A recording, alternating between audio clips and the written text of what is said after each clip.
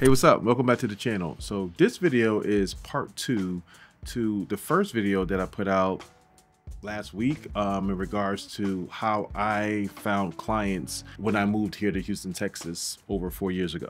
That video has gotten a pretty good response, but I couldn't fit everything I knew into that one video. Or I could have, but it would have been a very long video. So I decided to break it up into like three parts. And this is part two.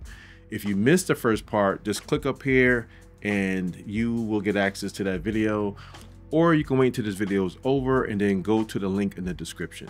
In that video, I talked about three specific things, which was establishing a website, uh, building up a, an account in the profile on Production Hub, and DMing people, DMing companies, emailing companies, and that was part of it. But there are so many other things that I had to do in order to get set up um, for those responses.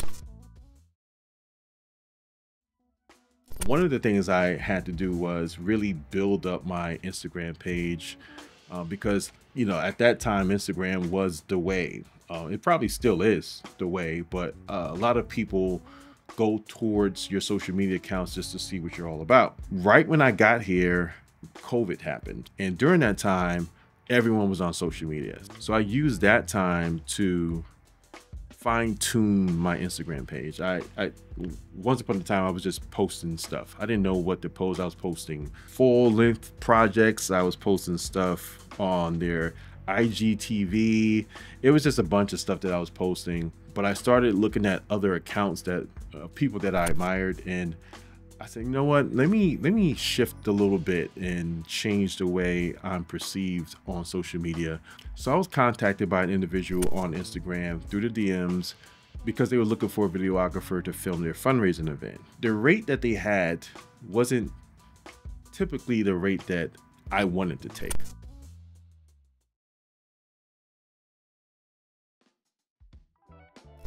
I used this as an opportunity to like okay, like I need to meet people. I need to connect with people.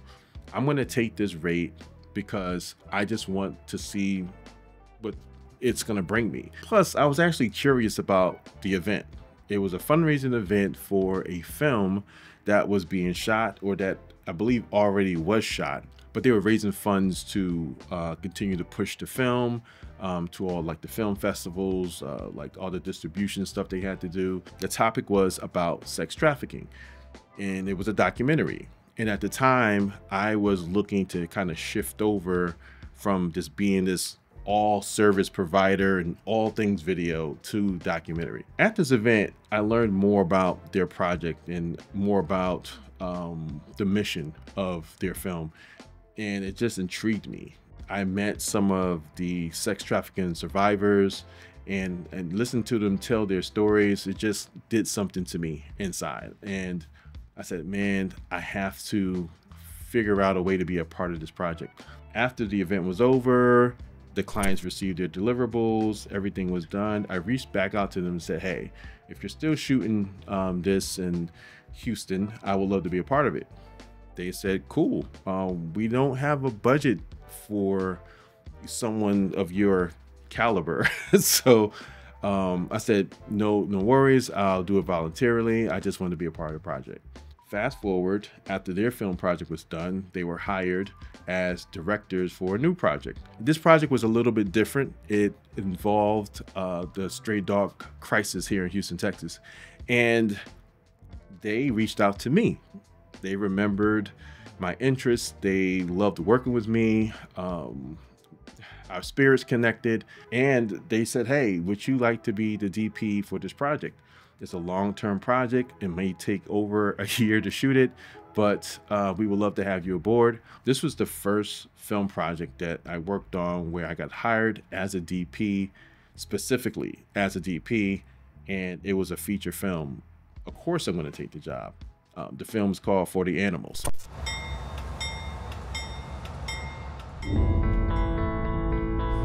Dear God, please watch over us today as we go into these areas of town. If there's an animal, a dog, a cat, or otherwise that we should find and help, please make them visible to us and give us the strength to continue this important work. this one needs some help. Look at this dog living. Look at him. Oh my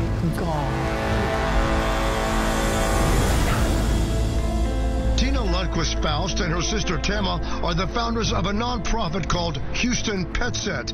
The situation here in Houston is dire. It's a quality of life public safety issue. We have too many stray animals on our streets. They did not sign up for this. You know, when we domesticated them, we made a deal with them. We would take care of them. They would be in our homes. We would feed them.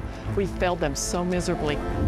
Animals living in complete filth, suffering. Rescues are full and the streets are packed. What do you do? I'm a street feeder here in what is called the corridor, the place where they dump dogs that have been used for breeding, that have been used for fighting and baiting. How has it gotten like this? Why don't the elected officials care? I get mad at the people that don't do anything. Because if everybody would do a little bit, we could fix it. Everybody's looking for someone else to do it, but we have to be the change that we want to see. Tina named him Walter. Walter! They're kind of like these unicorns of rescue. They can make so much positive change in the city of Houston. We have more resources, we have more groups helping, the shelters are better, but the problem is getting worse. The animals are breeding faster. We've got leaders continually blocking these efforts. Until we change the hearts and minds of people, we will carry this burden. At this stage, we wonder is there any hope for the animals? We became really close through the course of a year, and I'm so close that we are friends to this day. In fact, the experience was so great that they were the reason why I decided to shoot my own feature film, which is called Parents of the Spectrum. And that's the film that I talked about in other videos, which follows the stories of parents raising kids who are on the spectrum. And they are now the executive producers of this film, and they fronted the startup money that I needed to get this film off the ground. So a $500 job turned into my first full length contract as a DP for a feature film. It also turned into me being able to get executive producers for my own film and being fronted some of the startup capital for that film. But here's the cool thing about that. That allowed me to get my first IMDb credit. And it also attracted a company in the UK that was looking for someone in the US to help them with a docu-series. I've been working with this company for over a year and I signed a pretty cool contract with them to do some of their docu-series stories. All of this happened from a $500 job. All of this was connected to just being a good person. All of this happened by presenting myself a certain way on social media so that people saw that I was about this life. So if anyone started to watch this video and thought I was going to give like this formula to how to get clients, um, there's no secret sauce for me. I didn't have like a, a funnel system or something like that to to bring in all these leads and you know lead generating apps and and in a team. I honestly think that if i had that stuff i probably wouldn't have been able to handle that type of bandwidth. I, I probably would have choked. I probably would have messed something up because i just wasn't my infrastructure wasn't there. A lot of people look for all these oh, i'm going to have all these clients and yada yada yada but your infrastructure may not be able to handle that. For me i can honestly say mine wasn't. The pace that i was growing was a pace that I can control, especially being an active father, husband. It would have been too much. So I'm glad that I'm growing at the pace that I am. I got one more video to drop about this topic, so if you haven't yet, please subscribe, hit the bell for the notifications so you can know when it drops and definitely give your boy a like if this was something that you actually liked. Hey guys, look, it's tough out there and things are probably to get a little bit tougher, you know, with AI coming out and, you know, people kind of like downscaling their budgets and not really caring too much about high quality, you know, production value and they're kind of shooting things on like cell phones and stuff now. Um, it's to get even tougher. But ask yourself, have you tried everything? Before you give up and throw away the towel and sell all your gear, really ask yourself have you tried some of the methods that I did or others? Or have you just stuck to one way to try to find clients and then gave up? If you haven't tried those ways, please try them and give it a shot and just see what happens.